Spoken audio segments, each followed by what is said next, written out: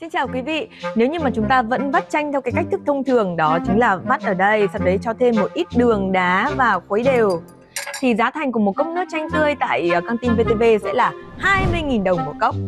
Tuy nhiên nếu như mà chúng ta chỉ cần thay cái loại chanh này bằng loại chanh nước hoa, sau đó thái miếng rồi giã và lắc liên tục thì các thượng đế sẽ phải trả gấp đôi giá tiền mới có được một cốc trà chanh giã tay. Sau khi phải chờ đến khoảng gần một tiếng đồng hồ trong giờ cao điểm. Sáng nay trước khi lên điểm tuần thì tôi có ghé qua chợ để mua cam và giá thành trung bình hiện nay của một cân cam xanh này rơi vào khoảng 30.000 đồng. Đó là giá của những cây cam mà được bón phân theo cách thức thông thường. Nhưng, lại nhưng, nếu bạn chịu khó sáng tạo bằng cách bón phân cho cây cam từ các sản phẩm tự nhiên như là trứng gà, mật ong được ngâm ủ theo phương pháp hữu cơ thì giá của một cân cam ăn trứng uống mật này rơi vào khoảng 2,2 triệu đồng.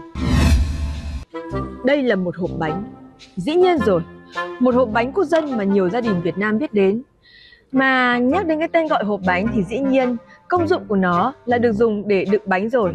Thế nhưng trong những hoàn cảnh cấp bách, ví dụ như là khi gia đình bị mất điện do mưa lũ chẳng hạn, thì nó lại được trưng dụng để trở thành son nấu mì tôm. Wow. Trời lạnh, ăn mì tôm đúng là chân ái.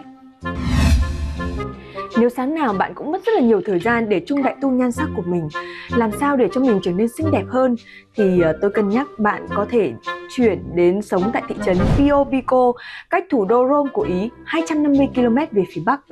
Bởi ở nơi đấy thì những người có vẻ ngoài không đẹp được tôn vinh, thậm chí là họ còn thành lập luôn một hiệp hội có tên gọi là Hiệp hội những người có vẻ ngoài xấu.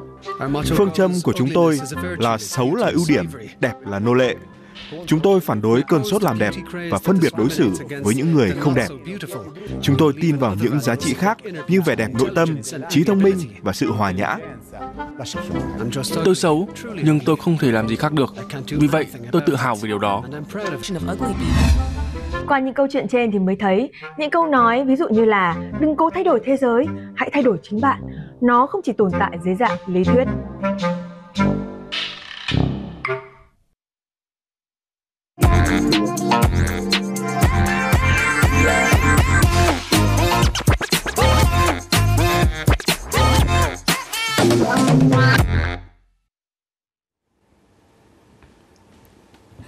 Vâng, xin chào quý vị. Tôi đã quay vào trường quay để tiếp tục uh, thông tin của điểm tuần đây.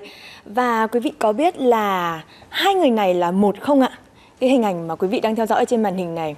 Nếu mà còn ai đang nghi ngờ thì hãy dẹp bỏ sự nghi ngờ đó bởi vì họ chính là một và khác biệt nằm ở chỗ đó là cô gái Kyoka 21 tuổi này, ngày trước thì luôn tự nhận mình mũm mĩm và xấu xí, ra đường thì luôn đeo khẩu trang vì sợ bị chế giễu ngoại hình. Thì nay đã thay đổi để trở thành một cô gái xinh xắn, tự tin, biết làm đẹp hơn trước rất là nhiều, chỉ nhờ tham gia một chương trình truyền hình thực tế. Mà trong suốt 50 ngày trải nghiệm đó, cô luôn nhận được những lời khen và động viên tích cực về ngoại hình, nhan sắc, tính cách từ một gia sư người Ý. Dĩ nhiên là cô gái cũng có những băn khoăn ban đầu bởi vì là thầy dạy của cô đẹp trai quá. Cô nghĩ là những lời khen đó thật là giả tạo. Nhưng mà khi ngày nào cũng nhận được những lời khen thì dần dà cô gái đã có sự tự tin trong chính mình. Cô học cách trang điểm, giảm cân và quan trọng hơn là biết cách yêu chính bản thân mình và trở nên tự tin hơn rất nhiều. Lời nói chẳng mất tiền mua, lựa lời mà nói cho vừa lòng nhau. Thưa quý vị, lời nói có tác động thay đổi cả đời người là có thật. Tuy nhiên, cũng có những lời nói thì phải mất tiền mua thì mới được thật quý vị ạ. Như là những con người đang thực hiện thử thách trên TikTok mà quý vị đang thấy đây. Chả là trên TikTok thì có hình thức phát livestream, người xem được quyền điều khiển người phát trực tiếp làm theo những gì mình muốn để đổi lấy quà tặng có thể đổi ra tiền. Thành ra, để kiếm được nhiều tiền thì người phát livestream lại càng ra sức thực hiện những thử thách oái oăm từ người xem thậm chí là mong được hành xác để nhận tiền. Người phát livestream có thể nâng từ viên gạch, thùng ga, tạ, thậm chí là cả xe máy. Còn cậu siêu nhân này thì đã bê thùng nước nặng hơn 20 cân, đứng lên ngồi xuống liên tục theo yêu cầu của khán giả xem livestream đưa ra. Và không rõ số tiền được nhận là bao nhiêu, nhưng mà nếu cứ làm vậy ngày qua ngày thì có khi số tiền nhận được còn trả đủ để đi chữa bệnh. Cuộc sống ơi, bạn có ổn không? nhưng cũng là livestream chân chính để kiếm tiền thì ngay cả người lớn tuổi hay là bác nông dân cũng hoàn toàn làm được và luôn nhận được sự ủng hộ của mọi người. Chị Quỳnh Nga với quán canh cá hay chị Mè Thị Ngọc với bán hàng liên kết. Cả hai chị đều có điểm chung là những người phụ nữ khởi nghiệp với mạng xã hội. Mây mò tự quay dựng và những video clip triệu view đã xuất hiện.